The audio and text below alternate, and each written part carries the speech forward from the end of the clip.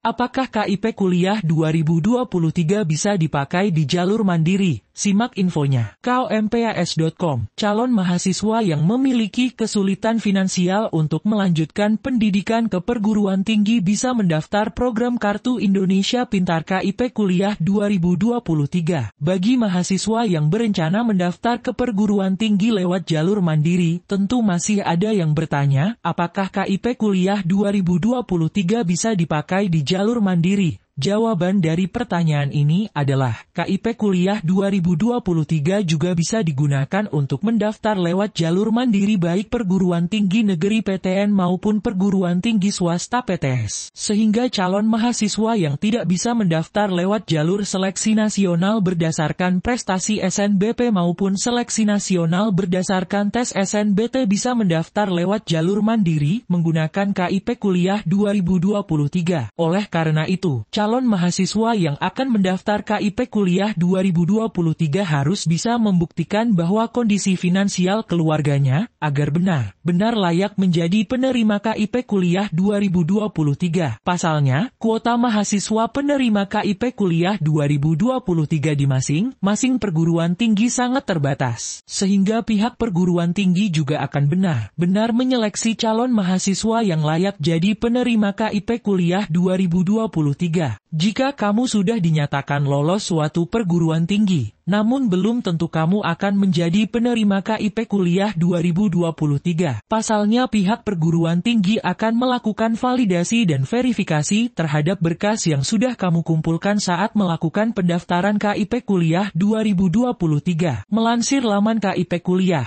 Minggu 19 Maret 2023, KIP Kuliah ditujukan secara eksklusif hanya untuk yang tidak mampu secara ekonomi.